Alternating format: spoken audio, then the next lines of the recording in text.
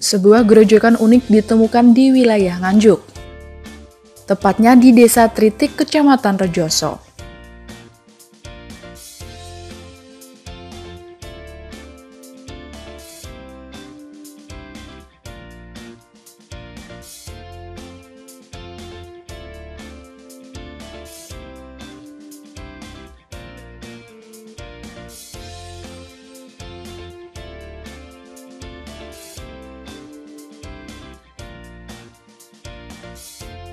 Gerojokan setinggi sekitar 15 meter tersebut ditemukan di tengah hutan lindung.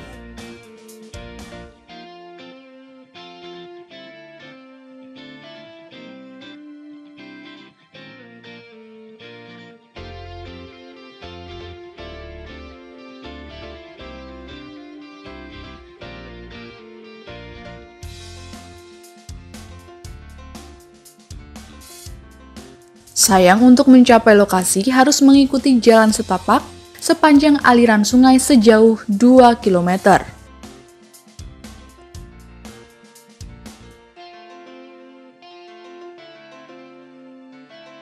Di sepanjang aliran sungai harus menghadapi berbagai rintangan berupa bongkahan batu besar, merangkak di tepian tebing yang terjal dan melewati kubangan air.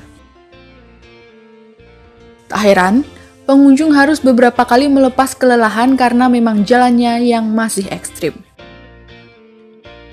Namun kelelahan terbayar setelah sampai ke lokasi.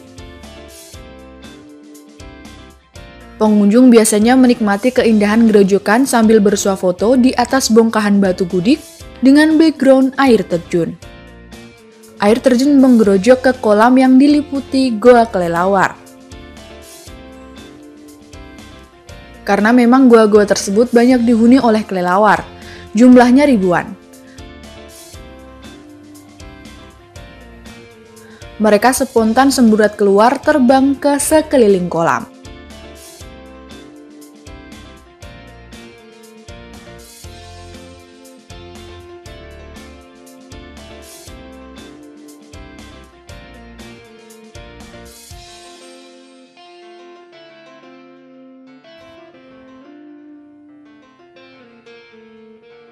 Pengunjung Nur Aziza Aulia Rahman asal Surabaya mengaku puas setelah berhasil mencapai lokasi. Dia ditemani tiga temannya dan dipandu dari warga setempat dan komunitas pecinta sejarah Nganjuk Kota Sejuk untuk bisa mencapai gerojokan. Alhamdulillah senang sekali Pak setelah melewati uh, perjalanan yang cukup ekstrim ya dan banyak tantangannya. Melewati batu-batu, melewati hutan yang panjang, kemudian seperti uh, panjat tebing, seperti terpleset dan sebagainya. Itu ketika sudah melihat hasilnya salah satu foto di sini alhamdulillah sangat senang sekali dengan apa yang sudah kita upayakan dan apa sudah kita lewati tantangannya. Dengan hasil yang seperti ini kita sangat senang Tadi bersama berapa teman Mbak untuk datang? alhamdulillah tadi uh, kami berempat berempat ada saya terus Mas Fahmi Mbak Didi dan Mbak Anissa terus ya semoga potensi desa ini juga dikenal oleh banyak orang tidak hanya di desa ini saja tapi juga banyak masyarakat di Nganjuk maupun di Jawa Timur dan Indonesia sehingga menjadi salah satu uh, desa wisata menampilkan masa desa ya yaitu kegiatan ini karena suasana masih alami masih asli gitu gitu sehingga semoga bisa menarik banyak perhatian pengunjung Menurut Gamijan, warga desa Tritik, sebenarnya gerojokan Kali Gendo ditemukan sejak lama. Hanya tidak ada orang yang tertarik untuk melihat dari dekat.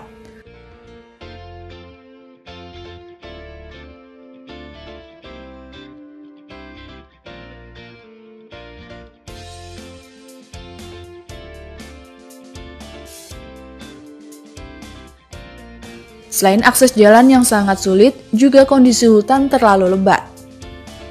Rencananya akan dibangun akses jalan terdekat dengan membuat tangga-tangga menuju lokasi.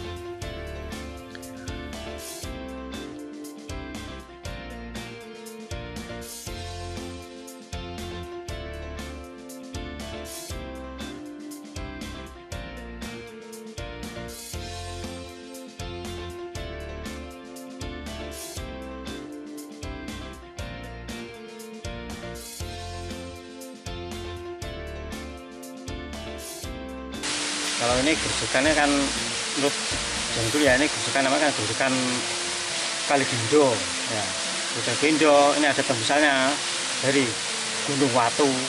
Ya Gunung Watu nanti belok ke barat itu yang namanya tuh Watu Lawang. Juga ada yang namanya eh, apa tuh eh, Sungai Seliro. Itu namanya kalau orang bisa tuh Dung Seliro. Nah itu kan ke situ. Sini kalau masih banyak gua pak pertama gua sih masih banyak gua. Cuma belum belum ter terkelola sih belum ter- tersentuh. Tapi sudah jelas banyak gua sini. Ini dari dua dua mata mata air pak ya. Yang satu dari eh, namanya gunung apa tuh? Watu Lawang tadi sama Gunung Watu. Itu satu satu. Bisa tritek ya. Kalau perhutani RPH nya tritek DKPH nya juga tritek Kecamatan Rejoso Kecamatan Rejoso kalau ditempuh kaki kurang lebih 3 kilo 3 kilo tapi juga bisa juga nanti singkat ya maksud bisa juga tanpa ke lokasi ini paling sekitar 500 meter tapi ada jalan jalan singkat ya cuma kemarin baru dirintis sama LMDA juga perangkat desa sudah dirintis tinggal nanti tinggal menunggu sosialisasi bagaimana kerja lanjutnya nanti baru dikerjakan. Apakah ada upaya untuk dikembangkan sebagai objek wisata, Pak?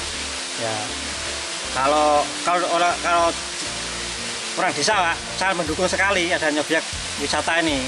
Jadi bisa apa menambah penghasilan juga nanti mungkin dari wisata terkait bisa membantu masalah ya misalkan apa bibit buah-buahan atau apa mereka bisa mendongkrak ekonomi eh, masyarakat Jakarta ya mungkin kalau ditambah pak ya ada penambahan mungkin dari apa dikasih eh, satwa atau nanti lingkungannya ditambah dengan tumbuh-tumbuhan apa buah-buahan atau dan lain sebagainya supaya bisa bisa tertarik ditata lebih eh, seperti yang sudah ada ada tuh bang seperti itu.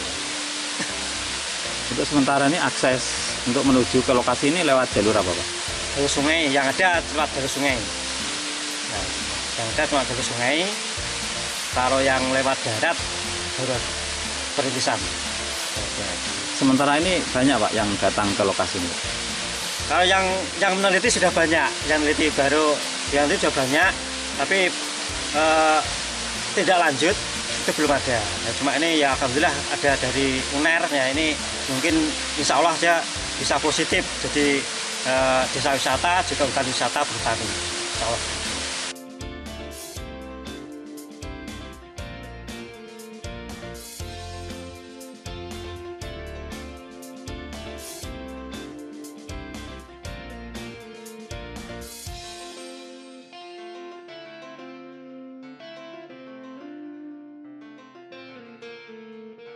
Susilo, anggota Kota Sejuk, menurutnya gerojokan Kaligendo layak dijadikan objek wisata alam karena memiliki potensi yang menarik. Hanya masalahnya adalah akses jalan terlalu sulit dijangkau.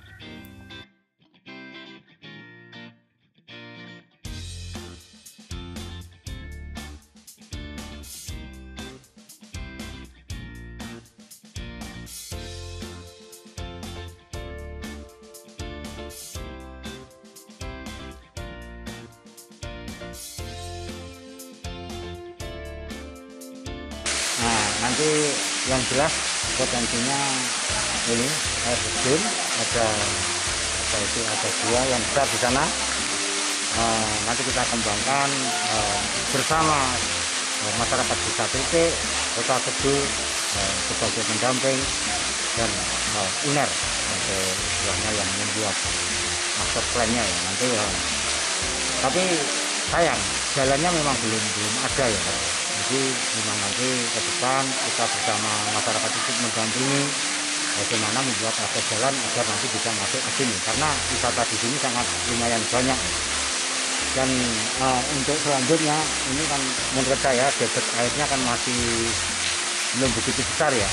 Tapi di sana ada di atasnya sana ada sumber yang namanya Singkang Malang Hmm. Nah, nanti ke depan atau dalam waktu dekat kita harus bagaimana eh, untuk membangkitkan sumber airnya dengan cara menanam seperti ringin, gerasa, elo atau apa yang ada di sini yang berpotensi untuk membangkitkan sumber mata air bersama kota Tebu.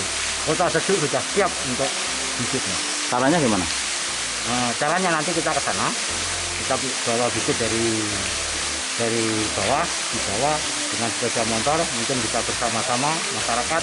Nanti kita mengarah ke sumber yang namanya Sindang Malang, kita tanami dengan bibit yang agak tinggi, nanti biar lebih cepat untuk membangkitkan sumber mata air dan bisa menambah istilahnya nanti daya tarik atau sumber airnya yang besar, nanti daya tariknya luar biasa.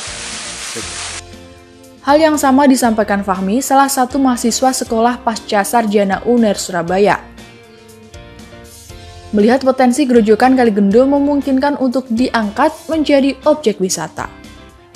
Meskipun lokasinya di tengah hutan, kendati jauh dari permukiman asal dikembangkan dengan baik, maka akan menarik perhatian banyak pengunjung. Eh, dengan melihat potensi seperti ini dan juga kita menimbang jalur yang seperti ini, kita juga akan mendiskusikan dengan beberapa dosen-dosen kami yang memang ahli di bidang pariwisata. Lalu nantinya kita akan diskusikan bagaimana solusi bersama. Kita akan diskusikan bersama masyarakat, kita temukan antara ahlinya dan masyarakat sebagai pelaku usahanya.